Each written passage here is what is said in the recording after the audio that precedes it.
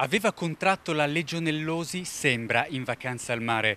Dopo 12 giorni di agonia è venuta a mancare purtroppo la donna, moglie di un imprenditore con due bambini, proprio qui alla clinica Fornaca di Sessan. Clinica che ha fatto sapere con una nota stampa di come la donna si trovasse in condizioni già critiche al momento del ricovero e sia andata poi aggravandosi fino al decesso avvenuto giovedì scorso.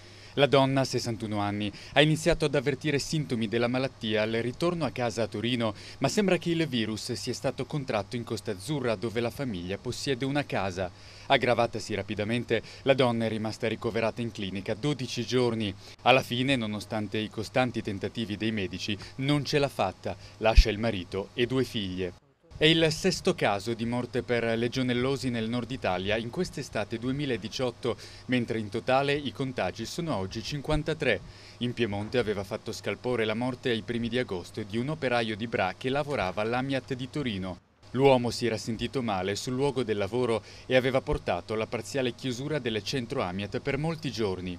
Più recente la chiusura di un bagno della Dental School di Torino, dove i tecnici Spresal dell'ASL avevano ravvisato il rischio legionella, caso poi rientrato. Il Servizio regionale di controllo delle malattie infettive ha escluso categoricamente ogni ipotesi di epidemia.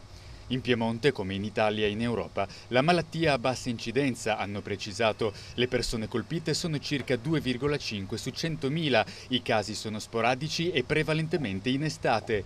Negli ultimi anni sono aumentati i casi di legionellosi contratte in viaggio, soprattutto per persone over 65. Allo scopo di prevenire la malattia che si trasmette con l'acqua e il vapore acqueo a una temperatura tra i 25 e i 55 gradi, è necessario dunque, sempre secondo il servizio regionale, investire in indagini epidemiologiche per capire le fonti di esposizione alla malattia e nelle attività di controllo e sorveglianza condotte dal Dipartimento di Prevenzione delle ASL.